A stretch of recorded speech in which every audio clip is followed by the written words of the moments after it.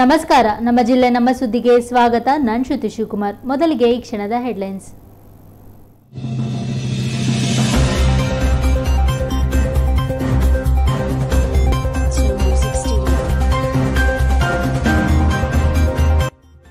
ಚಾಕು ಇರಿದು ಯುವಕನ ಹತ್ಯೆ ಮಾಡಿದ ಸ್ನೇಹಿತ.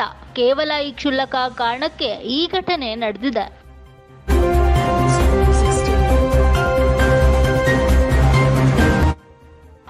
ಮೆಸ್ಕಾಂ ಬೆಲೆ ಏರಿಕೆ ಹಿನ್ನೆಲೆಯಲ್ಲಿ ಬಿಜೆಪಿ ಆಕ್ರೋಶ, ಗ್ರಾಮಾಂತರ ಬಿಜೆಪಿ ಕಾರ್ಯಕರ್ತರ ಪ್ರತಿಭಟನೆ.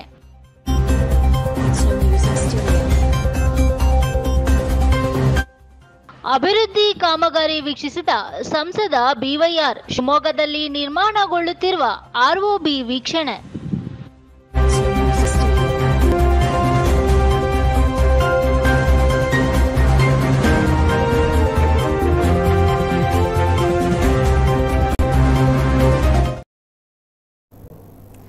ಕ್ಷುಲ್ಲಕ ಕಾರಣಕ್ಕೆ ಇಲಿಯಾಸ್ ನಗರದಲ್ಲಿ ನಿನ್ನೆ ರಾತ್ರಿ ಯುವಕನೊಬ್ಬನನ್ನ ಮಾರಕಾಸ್ತ್ರಗಳಿಂದ ಕೊಚ್ಚಿ ಕೊಲೆ ಮಾಡಲಾಗಿದೆ. ನೂರು ಅಡಿ ರಸ್ತೆಯಲ್ಲಿ ಈ ಘಟನೆ ನಡೆದಿದ್ದು, ಕೊಲೆ ಮಾಡಿದ ಆರೋಪಿಯನ್ನ ಕೆಲವೇ ಕ್ಷಣಗಳಲ್ಲಿ ಪೊಲೀಸರು ಬಂಧಿಸಿದ್ದಾರೆ.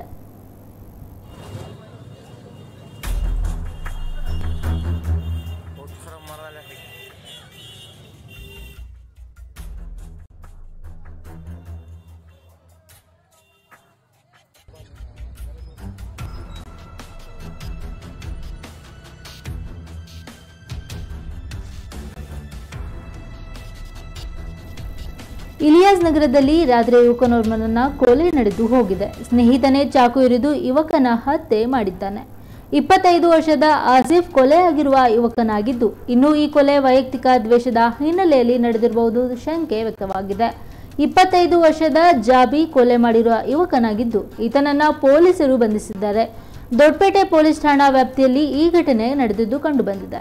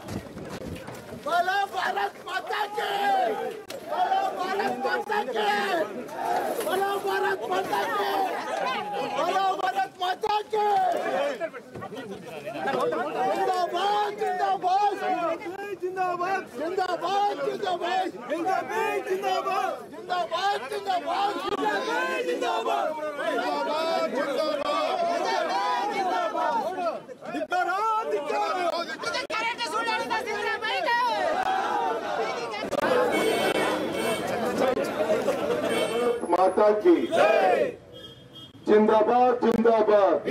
ವೈಯಕ್ತಿಕವಾಗಿ ಸೋತಿದ್ರು ಕೂಡ ಜನರಿಗೆ ನ್ಯಾಯ ಸಿಗಬೇಕು ಅಂತ ಹೇಳಿ ಈ ಹೋರಾಟದ ನೇತೃತ್ವವನ್ನು ವಹಿಸಿಕೊಂಡಿರುವಂತ ನಮ್ಮೆಲ್ಲರ ಗೌರವಾನ್ವಿತ ನೆಚ್ಚಿನ ನಾಯಕರಂತ ಅಶೋಕ್ ನಾಯ್ಕರವರೇ ಜಿಲ್ಲಾ ಜಿಲ್ಲಾಧ್ಯಕ್ಷರಂತ ಸಮಕ್ಷದ ಮೇಘರಾಜ್ ರವರೇ ಸನ್ಮಾನಿಸಿದ ಶಣ್ಣಯ್ಯ ಅವರೇ, ನಮ್ಮ ಗ್ರಾಮಾಂತರ ಕ್ಷೇತ್ರದ ಗೌರವಾನ್ವಿತ ಪಕ್ಷದ ಎಲ್ಲ ಪ್ರಮುಖ ಕಾರ್ಯಕರ್ತ ಬಂಧುಗಳೇ, ಪತ್ರಿಕಾ ಮಾಧ್ಯಮದ ಸ್ನೇಹಿತರೆ, ಬಂಧುಗಳೇ, ಈಗಾಗಲೇ ರಾಜಕೀಯ ಚಟಕ್ಕೋಸ್ಕರ ಉಚಿತ ಅನೇಕ ಯೋಜನೆಗಳನ್ನ ಘೋಷಣೆಯನ್ನ ಮಾಡಿದ್ರು. ತುಂಬಾ ಸಂತೋಷ. ಜಾರಿ ಮಾಡ್ಲಿ.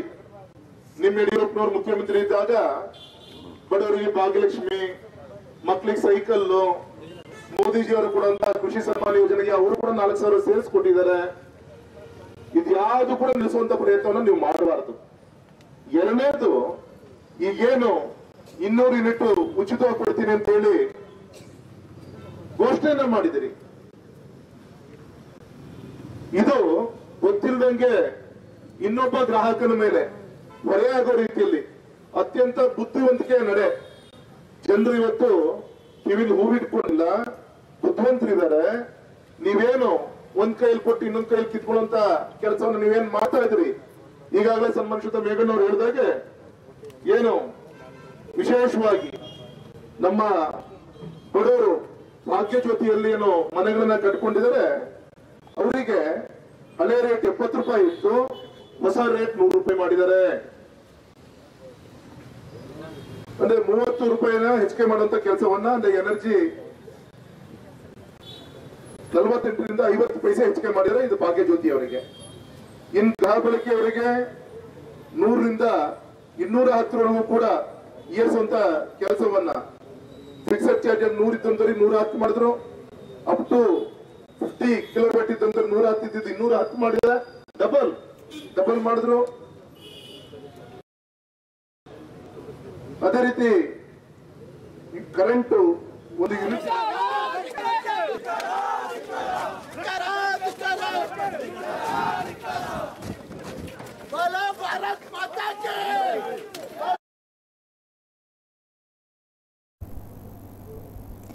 ಈತನಿಗೆ ಚಾಲೆಂಜಿಂಗ್ ಸ್ಟಾರ್ ದರ್ಶನ್ ಅಂದರೆ ಪಂಚಪ್ರಾಣ. ದರ್ಶನ್ ಎಂದರೆ ಸಾಕು, ಒಮ್ಮೆಲೆ ಪುಲ್ಗಿತಗೊಳ್ತಾನೆ ದರ್ಶನ್ ಅವರ ಸಿನಿಮಾಗಳನ್ನು ನೋಡುತ್ತಿದ್ದ ಈತನಿಗೆ ದರ್ಶನ್ ಎಲ್ಲವೂ ಆಗಿ ಹೋಗಿದ್ದಾನೆ. ಜೀವನದಲ್ಲಿ ಒಮ್ಮೆಯಾದರೂ ದರ್ಶನ್ ನೋಡಬೇಕು, ದರ್ಶನ್ ಕೈ ಕುಲುಕಬೇಕು, ದರ್ಶನ್ ಹತ್ತಿರ ಮಾತಾಡಬೇಕೆಂಬುದು ಈತನ ಹಂಬಲ. ಇದಕ್ಕಾಗಿ ಈತ ಮನೆ ಬಿಟ್ಟು ಕೂಡ ಹೋಗಿದ್ದ. ಆದರೆ ಈವರೆಗೂ ಈತ ದರ್ಶನ್ಗೆ ದರ್ಶನ ಭಾಗ್ಯ ಸಿಕ್ಕಿಲ್ಲ. ಈಗ ಈತ ಮಾನಸಿಕ ಖಿನ್ನತೆಗೊಳಗಾಗಿ ಪರಿತಪಿಸುತ್ತಿದ್ದಾನೆ. ಈತನ ಮನೆಯವರು ಮನೆಯ ಮಗ ಹೀಗನ್ನಲ್ಲ ಅಂತ ನೋವು ತಿಂತಾ ಇದ್ದಾರೆ.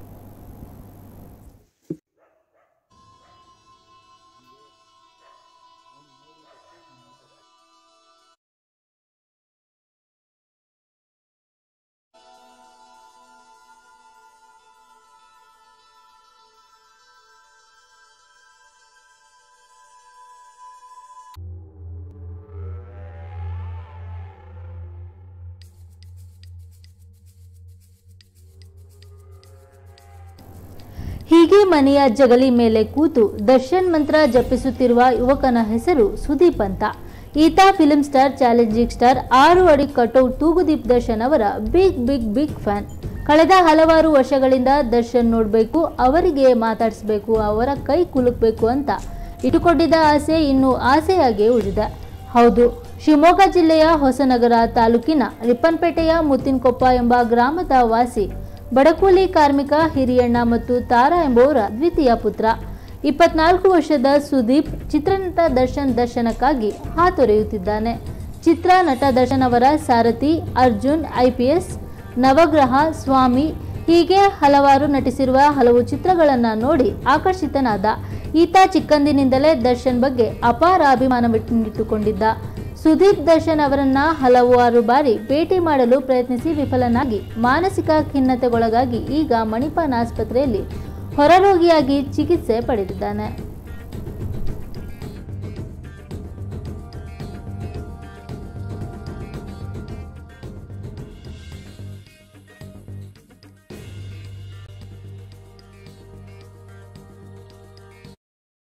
ಬಿಟ್ಟಲ್ಲಿಂದ ಬೇಸಿಗೆ ರಜದಿಂದ ನಾನು ದರ್ಶನ್ ನೋಡ್ಬೇಕಂತ ಈಗ ಒಂದು ಹದಿನಾಲ್ಕು ವರ್ಷದಿಂದ ಹೊತ್ತದಾನೆ. ಅವನ್ ದರ್ಶನ ಅವನಿಗೆ ಸಿಗಂಗಿಲ್ಲ ಇವ್ ಮನೆ ಬಿಟ್ಟು ಹೋಗ ಮನೇಲಿ ಇರಂಗಿಲ್ಲ. ಎಷ್ಟು ಸಲ ಹೋಗಿದ್ದಾರೆ ಅವನು ಯಾವ ಡೈಲಿ ಹೋಗ್ತಾನೆ ಇರ್ತಾನೆ ಅವ್ ಎಲ್ಲಿ ಹೋಗ್ತಾನೆ ಎಲ್ಲಿ ಬರ್ತಾನೆ ಅಂತ ನಮ್ಗೇನು ಗೊತ್ತಿಲ್ಲ. ಒಟ್ಟು ನಾ ದರ್ಶನ ನೋಡ್ಕೋಬೇಕು ಅಂತ ಮನೆಯಿಂದ ಹೊಂಟು ಹೋಗೋದು ಬಟ್ಟೆ ತಗೊಳೋದು ಹೋಗೋದು. ಎಲ್ಲಿ ಉಳಿತಾನೋ ಎಲ್ಲಿ ಇರ್ತಾನೋ ನಮ್ಗೆ ಗೊತ್ತಿಲ್ಲ ಮತ್ತೆ ಬಟ್ಟೆ ಬಿಡೋದು ಮತ್ತೆ ಬರೋದು. ಎಷ್ಟನೇ ವಯಸ್ಸಿಂದ ಈ ಥರ ಮಾಡ್ತಾನೆ ಒಂದು ಹದಿನಾಲ್ಕನೇ ವಯಸ್ಸಿಂದ ಹಿಂಗೆ ಮಾಡ್ತಾನೆ. ಹದಿನಾಲ್ಕು ಹದಿನೈದು ವರ್ಷ. ಅವ್ನಿಗೆ ಒಂದು ಆರನೇ ಕ್ಲಾಸ್ ಈಗ ಇಪ್ಪತ್ನಾಲ್ಕು ವರ್ಷ. ಆದ್ರೂ ಒಂದು ದಿನ ದರ್ಶನ ಇವ್ನಿಗೆ ಸಿಗಲ್ಲ ಇವ್ ಹೋಗೋದು ಬಿಡಲ್ಲ. ಹೋಗ್ತಾನೆ ಇರ್ತಾನೆ ಮಣಿಪಾಲಾಗೆಲ್ಲ ಮೆಡಿಸಿನ್ ಮೆಡಿಸಿನ್ ಮಾಡ್ಸ ಮಂಗ್ಳೂರಾಗೆ? ಮಂಗ್ಳೂರಾಗ ಎಂಟ್ಲಕ್ಕ ಮಾಡ್ಸ ಅಷ್ಟು ಮಾಡಿದ್ರು ಕಡಿಮೆ ಆಗಲ್ಲ ಮತ್ತೆ ಶಿವಮೊಗ್ಗದಾಗ ಮೆಗಾನಾಗ ಮಾಡ್ಸಿದ. ಅಲ್ಲೂ ಕಡಿಮೆ ಆಗಲ್ಲ ನಾಲ್ಕೈದು ವಡೆ ಎಷ್ಟು ಮಾಡ್ಸಿದ್ರು ಅವನಿಗೆ ಕಡಿಮೆನೇ ಆಗಲ್ಲ. ಮೆಡಿಸನ್ ಮಾಡ್ಸಿದ್ರೆ ನಾ ದರ್ಶನ ನೋಡ್ಬೇಕು ಅನ್ನೋದು ಒಂದೇ. ನಾ ದರ್ಶನ ನೋಡ್ಬೇಕು ದರ್ಶನ ನೋಡ್ಬೇಕು ಅನ್ನೋದು ಒಂದೇ.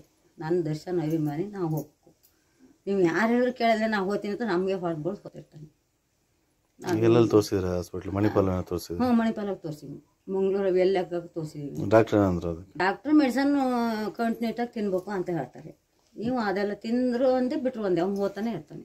ನಾವೇನು ಮಾಡೋಣ ನನ್ನ ಪೆಟ್ಟೆಲ್ಲ ಮಾಡ್ಕೊಂಡಿದ್ದಾನಲ್ಲ ತರ ತುಂಬ? ಬಿದ್ದೆಲ್ಲ ಪೆಟ್ಟು ಮಾಡ್ಕೊಂಡಾನೆ ಎಲ್ಲಿ ಟ್ರೈನಿಂದ ಬೀಳ್ತಾನೋ ಎಲ್ಲಿಂದ ಬೀಳ್ತಾನೋ ನಮ್ಗೆ ಗೊತ್ತಿಲ್ಲ ಒಟ್ಟು ಗೊತ್ತಿರ್ತಾನೆ. ಒಂದು ವಾರಕ್ಕೆ ಒಂದು ಸರ್ತಿ ಹದಿನೈದು ದಿನಕ್ಕೆ ಒಂದು ಸರ್ತಿ ಗೊತ್ತಾನೆ ಬಂದವ ಮತ್ತೆ ಹೋಗ್ತೀನಿ ಅಂತ ಹೋತಾನೆ ಅಲ್ಲೇ ಇರಲ್ಲ.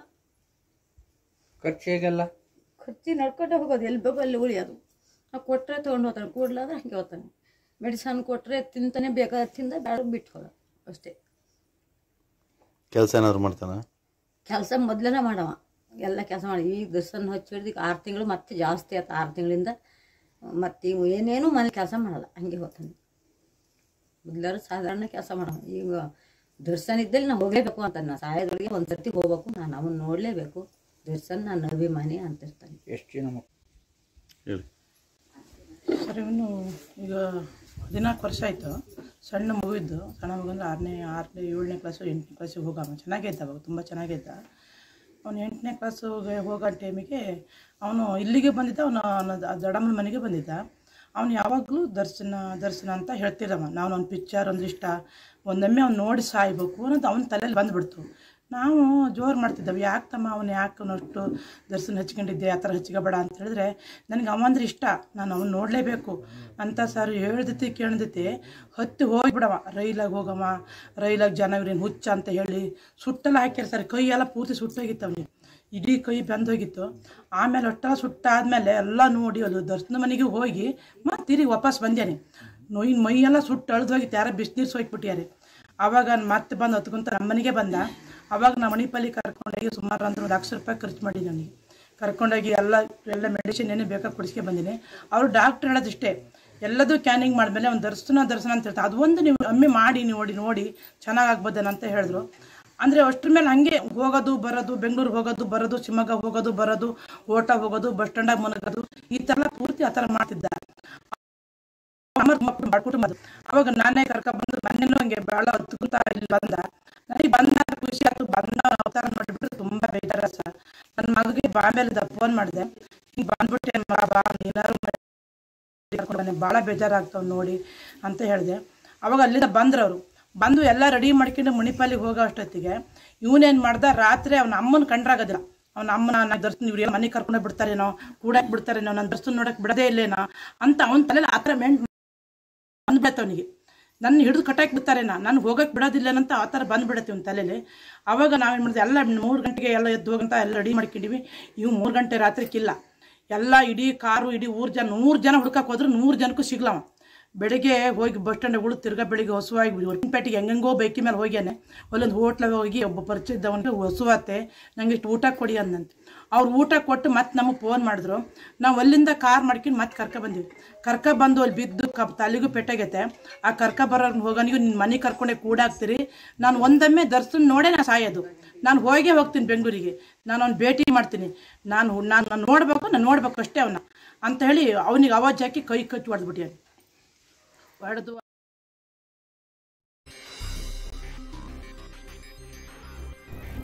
ಅಂದಹಾಗೆ ಸುದೀಪ್ ಆರನೇ ತರಗತಿಯಲ್ಲಿ ವ್ಯಾಸಂಗ ಮಾಡುವಾಗಲೇ ಚಿತ್ರನಟ ದರ್ಶನ್ ಅವರ ಅಪ್ಪಟ ಅಭಿಮಾನಿಯಾಗಿದ್ದ.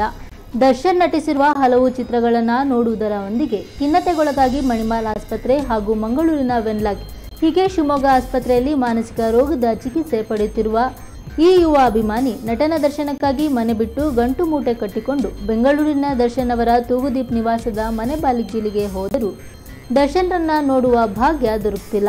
ದರ್ಶನ್ ಅವರನ್ನ ನೋಡಲು ಹಲವಾರು ಬಾರಿ ಮನೆಯವರಿಗೆ ತಿಳಿಸದೆ. ಓಡಿ ಹೋಗಿ ಬೆಂಗಳೂರಿಗೆ ರೈಲು ಹತ್ತಿ, ನಟ ದರ್ಶನ್ ಅವರ ಬೆಂಗಳೂರಿನ ಮನೆ ಬಳಿ ಹೋದ್ರೆ ಅವರನ್ನ ನೋಡಲು ವಾಚ್ಮೆನ್ ಒಳಗೆ ಬಿಡದೆ ಗೇಟ್ ಬಳಿ ನಿಲ್ಲಿಸಿ ಊರಲ್ಲಿಲ್ಲವೆಂದು ಹೇಳಿ ಕಳಿಸ್ತಾರೆ ಎನ್ನುತ್ತಾನೆ ಸುದೀಪ್.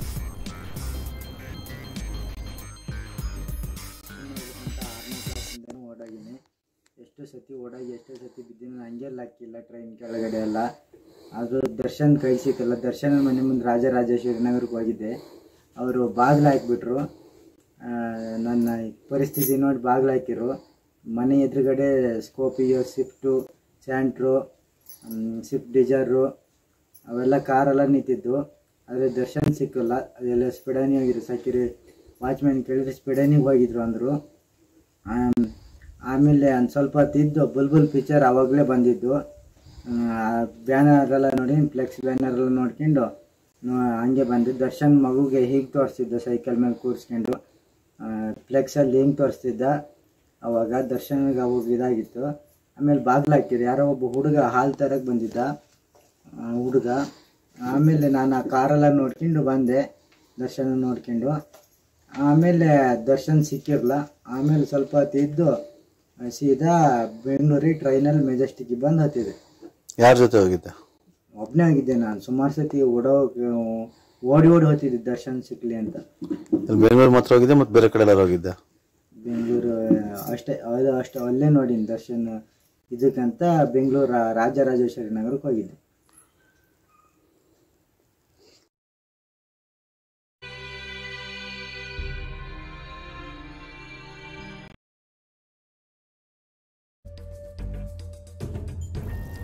ಒಟ್ಟಿನಲ್ಲಿ ಚಾಲೆಂಜಿಂಗ್ ಸ್ಟಾರ್ ದರ್ಶನ್ ಅವರ ಬಿಗ್ ಬಿಗ್ ಫ್ಯಾನ್ ಆಗಿರುವ ಸುದೀಪ್, ಬೆನ್ನತ್ತಿ ಬೇತಾಳನಂತೆ ನಾನು ಮರಣ ಹೊಂದುವ ಮುನ್ನ ನಾನು ದರ್ಶನ್ ನೋಡಲೇಬೇಕೆಂದು ಹಠ ಹಿಡಿದು ಕೂತಿದ್ದಾನೆ.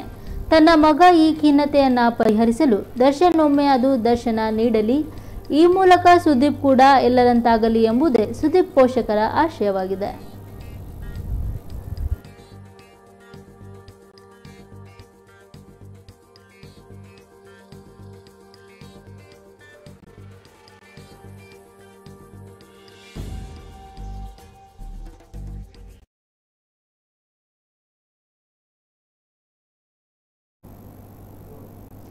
ವಿದ್ಯಾನಗರ ವೃತ್ತಾಕಾರದ ರೈಲ್ವೆ ಓವರ್ ಬ್ರಿಡ್ಜ್ ಕಾಮಗಾರಿಯ ವಿಕಾಸ ವೀಕ್ಷಣೆ ಮಾಡಿದ ಸಂಸದ ಬಿವೈ ರಾಘವೇಂದ್ರ ನಲವತ್ನಾಲ್ಕು ಕೋಟಿ ವೆಚ್ಚ ರೈಲ್ವೆ ಮೇಲೆ ಸೇತುವೆಯನ್ನು ಆಗಸ್ಟ್ ಹದಿನೈದರ ಒಳಗೆ ಉದ್ಘಾಟನೆ ಮಾಡುವಂತೆ ಸೂಚನೆ ನೀಡಿದರು.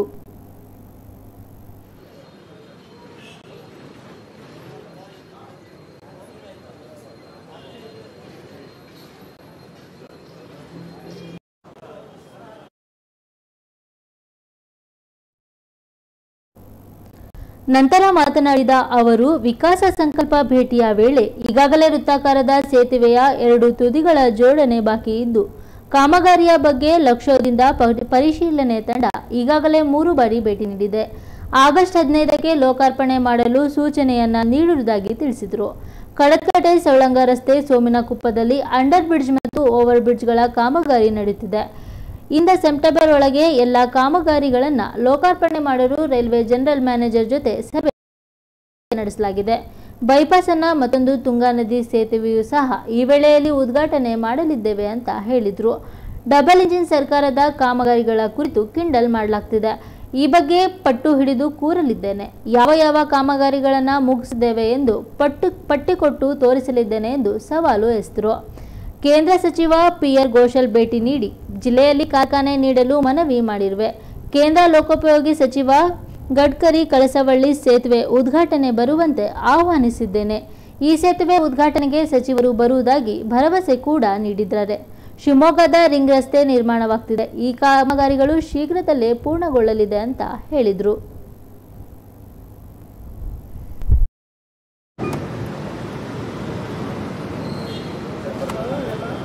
ಇವತ್ತಿನ ಸ್ಥಳ ವೀಕ್ಷಣೆಗೆ ಅಭಿವೃದ್ಧಿಯ ಕಾಮಗಾರಿಗಳನ್ನ ವೀಕ್ಷಣೆ ಮಾಡಲಿಕ್ಕೋಸ್ಕರ ಆಗಮಿಸಿದ ಗೌರವ ಶಾಸಕರಂತ ಚಂದ್ರಸಪ್ನವರೇ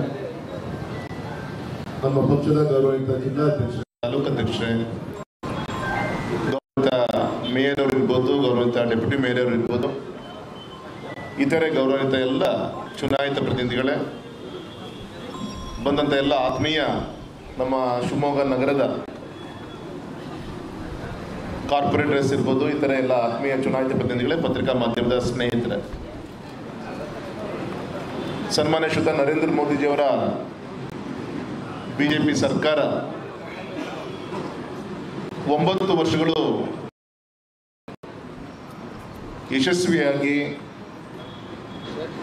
ಅಭಿವೃದ್ಧಿ ಪಥದಲ್ಲಿ ದೇಶವನ್ನ ಇಡೀ ಪ್ರಪಂಚದ ತಲೆ ಎತ್ತಿ ನೋಡುವಂಥ ರೀತಿಯಲ್ಲಿ ಸರ್ವಾಂಗೀಣ ಅಭಿವೃದ್ಧಿಯನ್ನ ಮಾಡ್ತಿರುವಂಥ ಒಂದು ದಿಕ್ಕಿನಲ್ಲಿ ಹೆಜ್ಜೆ ಇಟ್ಟಂತ ಈ ಸಂದರ್ಭದಲ್ಲಿ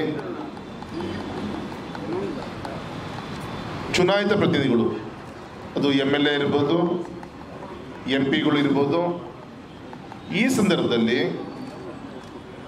ಇನ್ನೂ ಹೆಚ್ಚು ಆನ್ಗೋಯಿಂಗ್ ಪ್ರಾಜೆಕ್ಟ್ಸ್ಗಳನ್ನು ಮುಗಿಸ್ಲಿಕ್ಕೋಸ್ಕರ ಕಾರ್ಯಕ್ರಮವನ್ನು, ಕಾಮಗಾರಿಗಳನ್ನು ಬೇಗ ಬೇಗ ಇಂಪ್ಲಿಮೆಂಟೇಷನ್ ಮಾಡುವಂಥ ದಿಕ್ಕಿನಲ್ಲಿ ಒಂಬತ್ತು ವರ್ಷದ ನೆನಪಿಗೋಸ್ಕರ ಇನ್ನೂ ಹೆಚ್ಚು ಕ್ರಿಯಾಶೀಲತೆಯಿಂದ ಚುನಾಯಿತ ಪ್ರತಿನಿಧಿಗಳು ಕೆಲಸವನ್ನು ಮಾಡಬೇಕು ಅಂತ ಹೇಳಿ ವಿಕಾಸ ಸ್ಥಳ ವೀಕ್ಷಣೆ. ಈ ಒಂದು ಚೌಕಟ್ಟಿನಲ್ಲಿ ಇಡೀ ದೇಶಾದ್ಯಂತ ನಮ್ಮೆಲ್ಲ ಚುನಾಯಿತ ಪ್ರತಿನಿಧಿಗಳು, ನಮ್ಮ ಸಂಘಟನೆ ಹಿರಿಯರ ಒಂದು ಸಹಕಾರದಿಂದ ಆ ಅಭಿವೃದ್ಧಿ ಹೊಂದಿರುವಂತಹ ಸ್ಥಳಗಳಿಗೆ ಭೇಟಿಯನ್ನು ಕೊಡುವಂಥ ಮುಖ್ಯವಾದಂಥ ಕಾರ್ಯಕ್ರಮ. ಈಗಾಗಲೇ ಈ ಕಾರ್ಯಕ್ರಮದ ದೃಷ್ಟಿಯಿಂದ ವಿಶೇಷವಾಗಿ ನಮ್ಮ ವಿದ್ಯಾನಗರದ ರೈಲ್ವೆ ಮೇಲ್ಸೇತುವೆಗೆ ನಾವೆಲ್ಲರೂ ಕೂಡ ಇವತ್ತು ಭೇಟಿಯನ್ನು ಏನು ಕೊಟ್ಟಿದ್ದೀವಿ.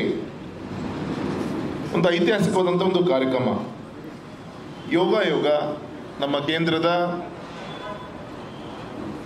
ರಾಷ್ಟ್ರೀಯ ಹೆದ್ದಾರಿ ಇಲಾಖೆಯಿಂದ ನಲವತ್ತ್ಮೂರು ಪಾಯಿಂಟ್ ತೊಂಬತ್ತು, ಅಂದರೆ ಹೆಚ್ಚು ಕಮ್ಮಿ ನಲವತ್ನಾಲ್ಕು ಕೋಟಿ ವೆಚ್ಚವನ್ನು ಮಾಡಿ ಈ ವೃತ್ತಾಕಾರದ ಒಂದು ಸೇತುವೆಯ ಒಂದು ಅಭಿವೃದ್ಧಿ ಇವತ್ತೇನು ಆಗ್ತಾ ಇದೆ? ಈಗಾಗಲೇ ನಮ್ಮ ಅಧಿಕಾರಿಗಳು, ಅವರು ತೋರಂಥ ಜಿಲ್ಲಾಧಿಕಾರಿಗಳು, ನಮ್ಮ ರಾಷ್ಟ್ರೀಯ ಹೆದ್ದಾರಿ ಸಂಬಂಧಪಟ್ಟಂಥ ಡಬ್ಬಲ್ಲಿ ಅವರು ಈಗಾಗಲೇ ಆಶ್ವಾಸನೆಯನ್ನು ಕೊಟ್ಟಿದ್ದಾರೆ. ಏನಲ್ಲಿ ಈ ವೃತ್ತಾಕಾರದ ಸೇತುವೆಯನ್ನು ಆಗಿದೆ ಇನ್ನು ಕೇವಲ ಅಲ್ಲಿ ಆ ರೈಲ್ವೆ ಟ್ರ್ಯಾಕ್ ಕ್ರಾಸಿಂಗಲ್ಲಿ ಆ ಸ್ಟ್ರೀಟ್ ಸ್ಟ್ರಕ್ಚರ್ನ ಎತ್ತಿಡಿಯೋ ಇಡುವಂಥ ಒಂದು ಪ್ರಾಜೆಕ್ಟ್ ಮಾತ್ರ ಉಳಿದಿದೆ. ಅದಕ್ಕೆ ಲಕ್ನೋದಿಂದ ಇನ್ಸ್ಪೆಕ್ಷನ್ ಬರಬೇಕು. ಈಗ ಆಲ್ರೆಡಿ ತ್ರೀ ಟೈಮ್ಸ್ ಬಂದಿದ್ದಾರೆ. ಫೈನಲ್ ಆ, ಒಂದು ಇನ್ಸ್ಪೆಕ್ಷನನ್ನು ಇನ್ನೊಂದು ವಾರದಲ್ಲಿ ಬ, ಬರಂಗ್ ಮಾಡಿ. ಆದಷ್ಟು ಏನಾದರೂ ಮಾಡಿ. ಆಗಸ್ಟ್ ಹದಿನೈದಕ್ಕೆ ನಮ್ಮ ಶಾಸಕರ ಒಂದು ನೇತೃತ್ವದಲ್ಲಿ, ನಮ್ಮ ಸರ್ಕಾರದ ಸಹಕಾರದಿಂದ ಇದನ್ನ ಶಿವಮೊಗ್ಗ ನಗರದ ನಾಗರಿಕರಿಗೆ ಕೊಡುಗೆಯಾಗಿ ಕೊಡ್ಬೋದು ಅಂತೇಳಿ ಈ ದಿಕ್ಕಲ್ಲಿ ಈಗಾಗಲೇ ಪ್ರಯತ್ನ ಮಾಡಿದ್ವಿ ಇದು ಒಂದು. ಎರಡನೇದು ಕಟ್ಟೆ ರೈಲ್ವೆ ಲೆವೆಲ್ ಕ್ರಾಸಿಂಗ್ ಇರ್ಬೋದು. ಅದೇ ರೀತಿ ನಮ್ಮ ಸವಳಂಗ ರಸ್ತೆಯಲ್ಲಿ ಇರ್ಬೋದು ಅದೇ ರೀತಿ ನಮ್ಮ ಸೌ ವಿನಮ್ರಗದ ಮುಂದೆ ಸೋಮಿನಕೊಪ್ಪ. ಅಲ್ಲಿ ರೈಲ್ವೆ ಓವರ್ ಬ್ರಿಡ್ಜು ಮತ್ತು ಅಂಡರ್ ಬ್ರಿಡ್ಜ್ ಎರಡೂ ಕೂಡ ಆಗ್ತಾ ಇದೆ ಅಲ್ಲಿ. ಇದೆಲ್ಲ ಸೇತುವೆಗಳನ್ನು ನಾಳೆ ಡಿಸೆಂಬರ್, ಬರೋ ಡಿಸೆಂಬರ್ ಒಳಗೆ ಹಂತ ಹಂತವಾಗಿ ಎಲ್ಲ ಸೇತುವೆನೂ ಕೂಡ ಲೋಕಾರ್ಪಣೆಯನ್ನು ಮಾಡಲಿಕ್ಕೆ ಈಗಾಗಲೇ ಹುಬ್ಳಿಯಲ್ಲಿ ರೈಲ್ವೆ ಜಿ ಎಂ ಜೊತೆಗೆ ಜನರಲ್ ಮ್ಯಾನೇಜರ್ ಜೊತೆಗೆ ಒಂದು ಹಂತದ ಮೀಟಿಂಗ್ ಅನ್ನು ಕೂಡ ಕಳೆದ ಎರಡು ವಾರ ಕೆಳಗೆ ಮಾಡಿದ್ದೀನಿ, ಆಶ್ವಾಸನೆ ಕೊಟ್ಟಿದ್ದಾರೆ. ಸೊ ನೆಕ್ಸ್ಟ್ ಕಮಿಂಗ್ ಡಿಸೆಂಬರ್ ಒಳಗೆ ಇದೆಲ್ಲದೂ ಕೂಡ ಪರಿಪೂರ್ಣ ಮಾಡುವಂಥ ದಿಕ್ಕಿನಲ್ಲಿ ಎಲ್ಲ ರೀತಿಯಂಥ ಪ್ರಯತ್ನ. ಇವತ್ತು ನಮ್ಮ ವಿಕಾಸ ಸ್ಥಳ ವೀಕ್ಷಣೆಯ ಒಂದು ಸಂದರ್ಭ ಸಂಕಲ್ಪ ಮಾಡಿದ್ವಿ. ನಾವೆಲ್ಲರೂ ಕೂಡ ಚುನಾಯಿತ ಪ್ರತಿನಿಧಿಗಳು ಮತ್ತು ನನಗೆ ಇನ್ನೊಂದು ಶಕ್ತಿ ಹಿಂದೆ ಸನ್ಮಾನಿಸಿದ ಈಶ್ವರಪ್ಪನ ಇದ್ದಾಗ ಯಾವ ರೀತಿ ಶಕ್ತಿ ಇತ್ತು ಅದೇ ರೀತಿ ಇವತ್ತು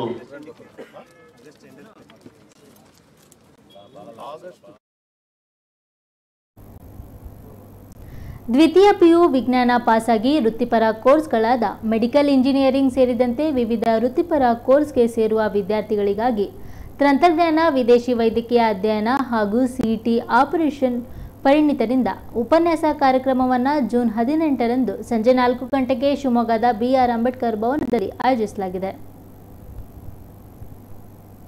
ಆದಮೇಲೆ ಇವತ್ತು ಪ್ರಗತಿ ಆ್ಯಪಲ್ ಎಜುಕೇಷನ್ ಹಾಗೂ ಶಿವಮೊಗ್ಗ ಜಿಲ್ಲಾ ವಾಣಿಜ್ಯ ಮತ್ತು ಕೈಗಾರಿಕಾ ಸಂಘದ ವತಿಯಿಂದ ಒಂದು ಪತ್ರಿಕಾಗೋಷ್ಠಿಯನ್ನು ಆಯೋಜನೆ ಮಾಡಿದೆ ಹಾಗೆ ಶಿವಮೊಗ್ಗ ಜಿಲ್ಲೆ ಈ ಉಪನ್ಯಾಸ ಕಾರ್ಯಕ್ರಮವನ್ನು ಪ್ರಗತಿ ಆಪಲ್ ಎಜುಕೇಷನ್ ಶಿವಮೊಗ್ಗ ಜಿಲ್ಲಾ ವಾಣಿಜ್ಯ ಹಾಗೂ ಕೈಗಾರಿಕಾ ಸಂಘ, ಶಿವಮೊಗ್ಗ ಜಿಲ್ಲಾ ಕಾರ್ಯನಿರತರ ವರ್ತಕರ ಸಂಘ ಮತ್ತು ಶಿವಮೊಗ್ಗ ಪ್ರೆಸ್ ಟ್ರಸ್ಟ್ ಸಹಯೋಗದೊಂದಿಗೆ ಸಂಘಟಿಸಲಾಗಿದೆ.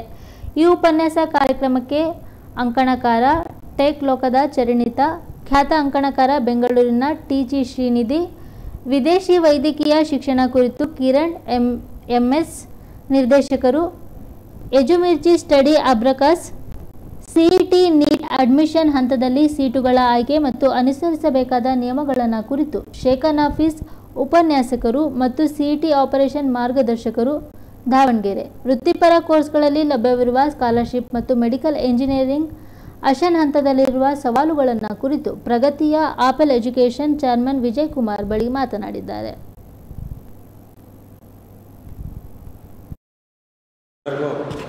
ನಮಸ್ಕಾರ. ಪ್ರಗತಿ ಆಪಲ್ ಎಜುಕೇಷನ್ ಕಳೆದ ಹದಿನೈದು ವರ್ಷದಿಂದ ಶಿವಮೊಗ್ಗದಲ್ಲಿ ಈ ಪಿ ಯು ಸಿ ಸೈನ್ಸ್ ಮಕ್ಕಳಿಗೆ ಸಂಬಂಧಪಟ್ಟಂಗೆ ನಾವು ಅವರ ಎಕ್ಸಾಮ್ ಮತ್ತು ಸ್ಕಾಲರ್ಶಿಪ್ ಸಂಬಂಧಪಟ್ಟಂಗೆ ಕೆಲಸ ಮಾಡ್ತಾ ಇದ್ವಿ. ಈ ಪಿ ಯು ಸಿ ಸೈನ್ಸ್ ಮುಗಿದಾದ್ಮೇಲೆ ಏನಾಗುತ್ತೆ? ಇಂಜಿನಿಯರಿಂಗ್ ಮೆಡಿಕಲ್ ಇವತ್ತು ಸಿ ಟಿ ರಿಸಲ್ಟ್ ಅನೌನ್ಸ್ ಆಗಿದೆ. ನಿನ್ನೆ ನೀಟ್ ರಿಸಲ್ಟ್ ಅನೌನ್ಸ್ ಆಗಿದೆ. ಇಂಜಿನಿಯರಿಂಗ್ ಹೋಗ್ಬೇಕಂತ ಹೇಳಿದ್ರೆ ತುಂಬ ಜನರಿಗೆ ಇಂಜಿನಿಯರಿಂಗ್ ಮಾಡಿದ್ರೆ ಜಾಬ್ ಸಿಗಲ್ಲ ಅನ್ನೋದೊಂದು ತಪ್ಪು ಕಲ್ಪನೆ ಇದೆ. ಸೊ ಹಾಗಾಗಿ ಏನಂತ ಹೇಳಿದ್ರೆ ಇಂಜಿನಿಯರಿಂಗ್ ರಿಲೇಟೆಡ್ ಆಗಿನೇ ಮಾತಾಡಲಿಕ್ಕೋಸ್ಕರ ಒಂದು ಜೊತೆಗೆ ಈ ನೀಟ್ ಒಳಗಡೆ ಏನಾಗುತ್ತೆ ಎಲ್ಲರಿಗೂ ಗೌರ್ಮೆಂಟ್ ಕಾಲೇಜಲ್ಲಿ ಸೀಟ್ ಸಿಗಲ್ಲ.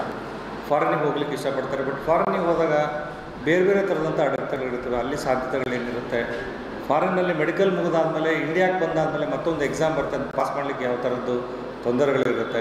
ಇನ್ನು ಜೊತೆಗೆ ಈಗ ಸಿ ರಿಸಲ್ಟ್ ಬಂದಾದಮೇಲೆ ನೆಕ್ಸ್ಟ್ ಅಡ್ಮಿಷನ್ ಪ್ರೋಸೆಸ್ ಒಳಗಡೆ ಸಾಕಷ್ಟು ಅಡೆತಡೆಗಳು ಬರ್ತಾನೆ ಇರುತ್ತೆ. ಅದನ್ನು ಹೇಗೆ ನಾವು ನಿವಾರಣೆ ಮಾಡಲಿಕ್ಕೆ ಸಾಧ್ಯ ಇದೆ ಅನ್ನೋದ್ರ ಬಗ್ಗೆ ಈ ಮೂರು ಸಬ್ಜೆಕ್ಟ್ಗಳನ್ನು ಜೊತೆಗೆ ಈ ಪಿ ಯು ಸಿ ಸೈನ್ಸ್ ಮುಗಿದಾದ್ಮೇಲೆ ಪ್ರೊಫೆಷ್ನಲ್ ಕೋರ್ಸ್ ಹೋದಾಗ ಸ್ಕಾಲರ್ಶಿಪ್ಗಳೆಲ್ಲ ಯಾವ ಥರ ಇರುತ್ತೆ ಅನ್ನೋದ್ರ ಬಗ್ಗೆನೇ ಒಂದು ಉಪನ್ಯಾಸ ಕಾರ್ಯಕ್ರಮವನ್ನು ನಾವು ಅರೇಂಜ್ಮೆಂಟ್ ಮಾಡಿದ್ದೀವಿ. ಪ್ರಗತಿ ಆಫ್ ಎಜುಕೇಷನ್ ಜೊತೆಗೆ ಶಿವಮೊಗ್ಗ ಜಿಲ್ಲಾ ವಾಣಿಜ್ಯ ಸಂಘ ಕಾರ್ಯನಿರತ ಪತ್ರಕರ್ತರ ಸಂಘ ಮತ್ತು ಶಿವಮೊಗ್ಗ ಪ್ರೆಸ್ ಟ್ರಸ್ಟ್ ಜೊತೆಯಾಗಿ ಈ ಪ್ರೋಗ್ರಾಮನ್ನು ಅರೇಂಜ್ಮೆಂಟ್ ಮಾಡಿದ್ವಿ ಈ ಪ್ರೋಗ್ರಾಮ್ಗೆ ಬೆಂಗಳೂರಿನ ಕಾಲಮಿಸ್ಟು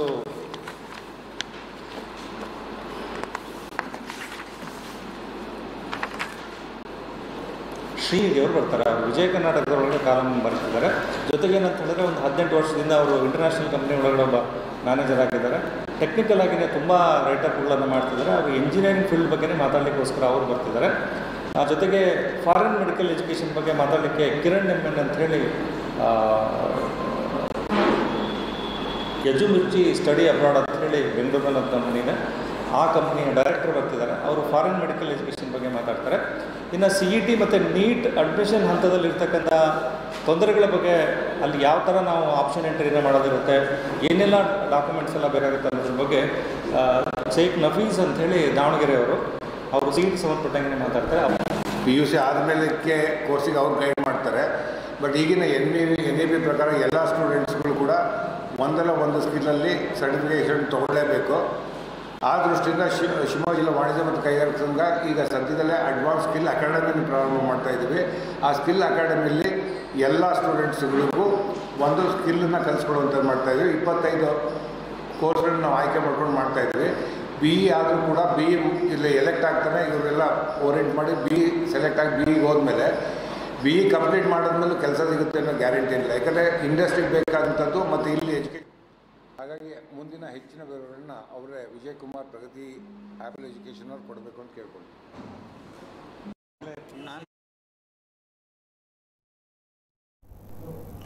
ಕೊನೆಯಲ್ಲಿ ಮತ್ತೊಮ್ಮೆ ಹೆಡ್ಲೈನ್ಸ್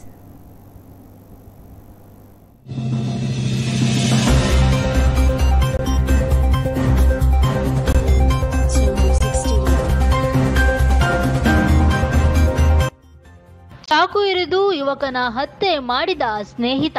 ಕೇವಲ ಈ ಕ್ಷುಲ್ಲಕ ಕಾರಣಕ್ಕೆ ಈ ಘಟನೆ ನಡೆದಿದೆ.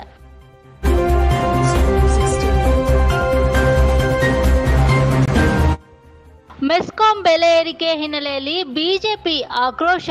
ಗ್ರಾಮಾಂತರ ಬಿಜೆಪಿ ಕಾರ್ಯಕರ್ತರ ಪ್ರತಿಭಟನೆ.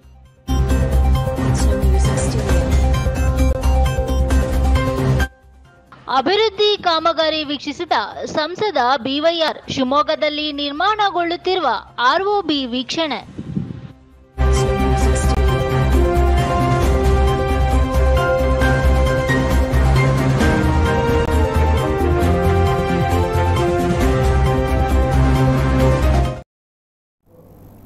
ಇದಾಗಿತ್ತು ಈ ಹೊತ್ತಿನ ಸುದ್ದಿಗಳು. ಸುದ್ದಿ ಹಾಗೂ ಮನೋರಂಜನೆಗಾಗಿ ನೋಡ್ತಾ ಇರಿ ನಮ್ಮ ಟಿವಿ ಶಿವಮೊಗ್ಗ.